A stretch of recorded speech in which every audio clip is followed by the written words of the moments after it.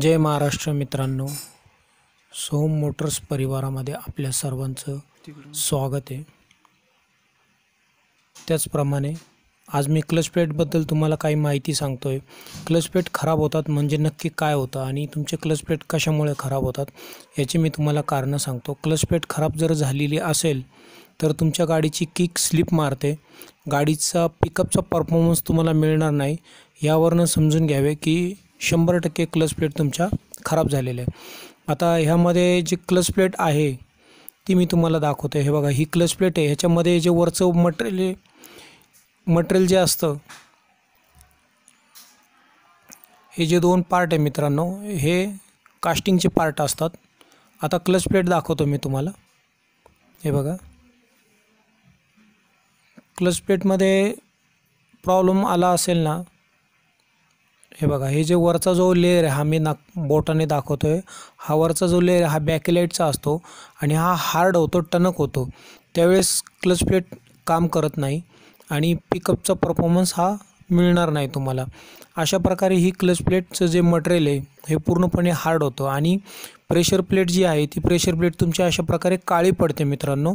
जास्ती दिवस जर क्लच प्लेट गेलेली वापरली खराब झालेली तर काळी पडते आणि ह्याच्यावर डॉट दिसतात बघा तुम्हाला. दुसरी जी प्रेशर प्लेट आहे त्या प्रेशर प्लेटमध्ये तुम्हाला डॉट दिसतात मित्रांनो.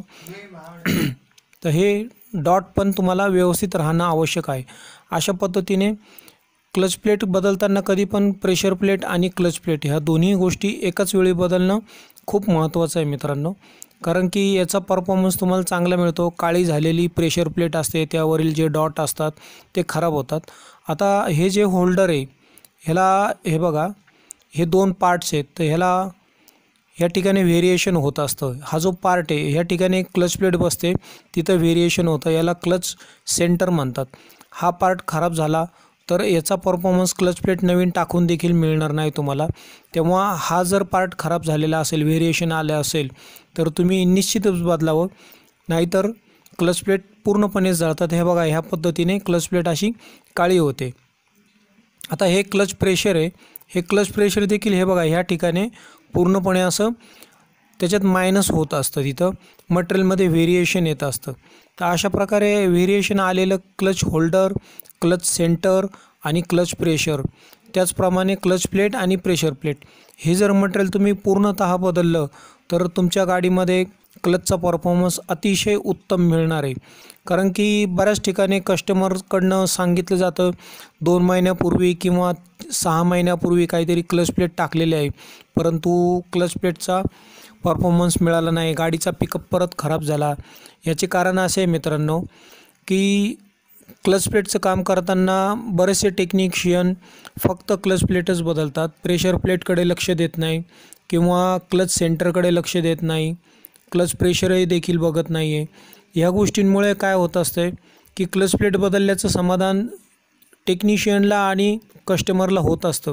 परंतु त्याचा परफॉर्मन्स तुम्हाला कधीच मिळणार नाही हेही तितकंच निश्चित आहे. तेव्हा क्लच प्लेटचं काम करत असताना पूर्णपणे व्यवस्थित ह्याच पद्धतीने मटेरियल चेक करून जेन्युन मटेरियल वापरणं गरजेचं आहे. मी तुम्हाला डिस्क्रिप्शनमध्ये एक लिंक देईल क्लच प्लेट ॲसेंब्ली कशा पद्धतीने होत असते. ती लिंक देखील तुम्ही बघून घ्या मित्रांनो. यामध्ये क्लच प्लेटचे येणारे जे प्रॉब्लेम आहे हे सांगितलेले आहे. परंतु लिंकमध्ये तुम्हाला पूर्णपणे त्या ठिकाणी क्लच प्लेट ॲसेंब्ली दाखवलेली मी क्लच प्लेट ॲसेंब्ली झाल्यानंतर मित्रांनो कधी पण इंजिन क्लच कवर जोडल्यानंतर त्यामध्ये अगोदर संपूर्ण कवर पेट्रोलने स्वच्छ धुवून घेणं